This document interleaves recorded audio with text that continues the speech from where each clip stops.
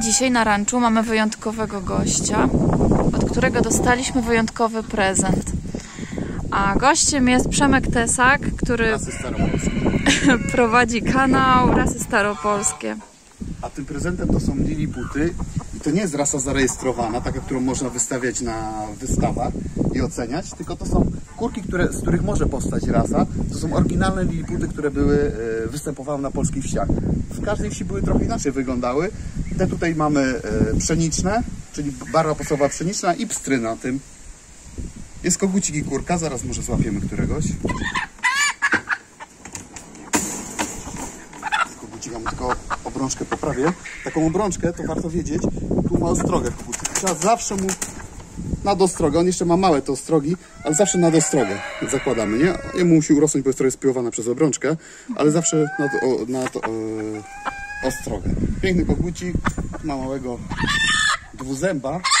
Nie, bój, nie bój, nie bój. On się pierzy teraz, ale naprawdę fajny kogucik. Stry po piersi widać, bo ma białe piórka. Ogonek mu odrośnie za chwilę.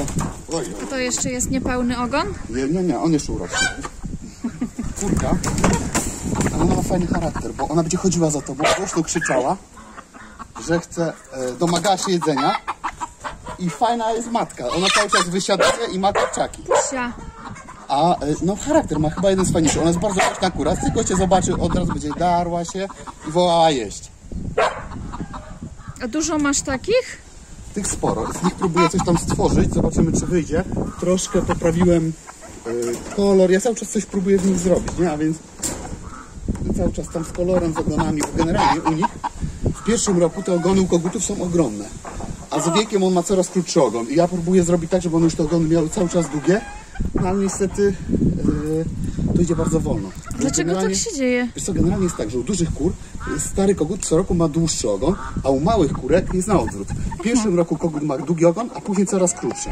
I przeważnie stare koguty mają krótkie ogony i to nie znaczy, że ich dzieci będą miały krótkie ogony, wręcz przeciwnie. Żółte nogi, bo jest jeszcze druga taka rasa, karzełek polski. Je najłatwiej jest rozróżnić po e, skokach, czyli nogach. Te mają żółte, a karzełki mają zielone. Karzełki są bardzo podobne do zielonuszki. My mamy liliputy, tak? Zobaczymy, jak się z dużym kogutem polubią. Tam chyba dwa są, nie? Trzy. Ja się boję w ogóle wpuszczać je. Nie Ale wiem, czy ich radę. troszkę nie przytrzymać w tej Może klatce. przytrzymać, no. ale powiem Ci, że u mnie on chodził z kogutami i on potrafił zadbać o siebie. On taki sprytny kogucik był. Tam jest mała przestrzeń, to może być jakiś mały problem, ale No właśnie. generalnie one sprytne są. Bardziej się martwię o tego perlika. Mamy takiego jednego No szatan. łobuza. On tam terroryzuje wszystkich. Tak, tak. No to, to no zobaczysz, jak będzie dawał radę. Chociaż on jest sprytny, on, on nie daje sobie w kaszę dmuchać, a też wie, jak zejść z e, oczu e, prześladowcy.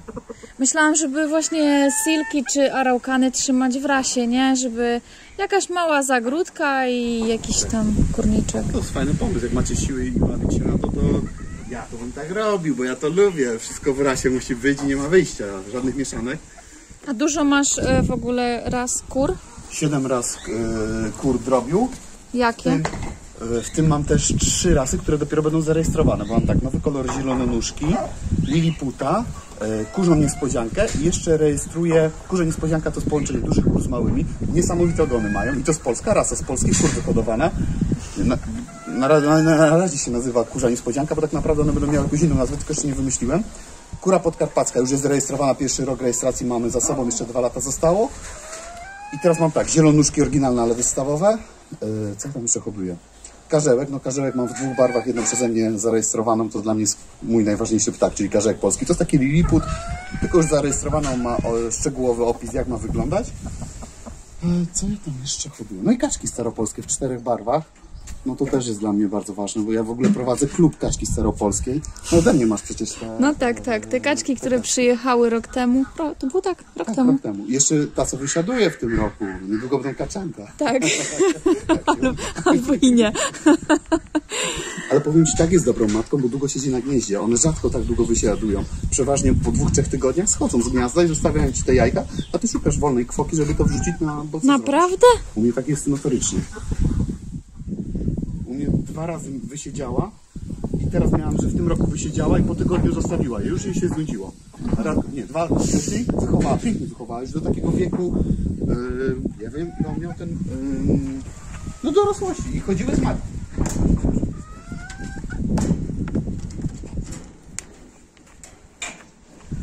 One są bardzo lotne, wiesz? Tak? Zaradne, tak.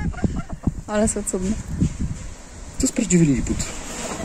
Generalnie teraz takich starych kur, kiedy, które kiedyś były hodowane u nas, no nie ma, nie ma ani kury zagrodowej. No ale to ogólnie to do czego one były? No bo jajeczka są maluśkie, tak? ale Mięsa na niej nie ma. Ale ozdoba. I Czyli prze- ozdoba Przeważnie tylko. wtedy było, wiesz, kogucik, kurka, dwie kurki, takie hodowano. Aha.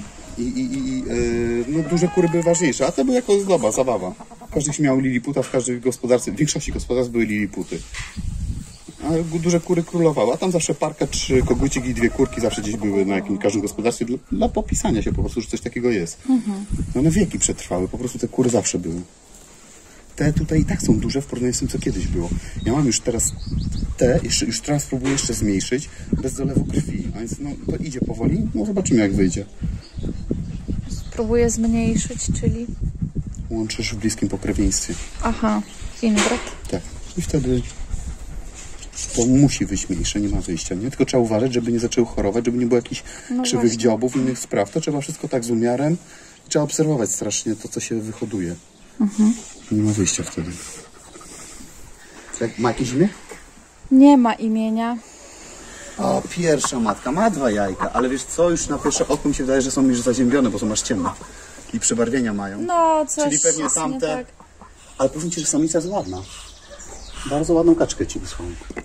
Bardzo ładną kaczkę ci dałem, na tak? obrączkę? No, no fajna, fajna, powiem- na obrączkę. Powiem Ci, że no opartego mogłabyś na wystawę ją nawet zabrać, jak się przepierzy.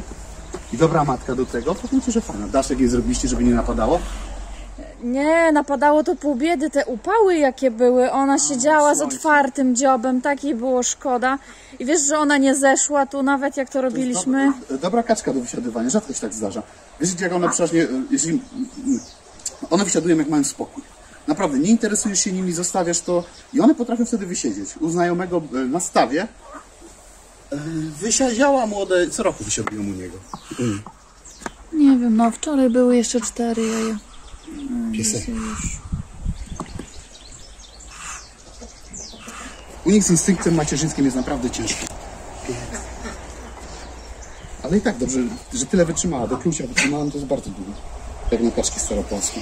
Ale ja poświęciłam pół skalniaka na Ale to. mówiłeś w zeszłym roku, że ten, że będzie wysiadywała i patrz, wysiaduje.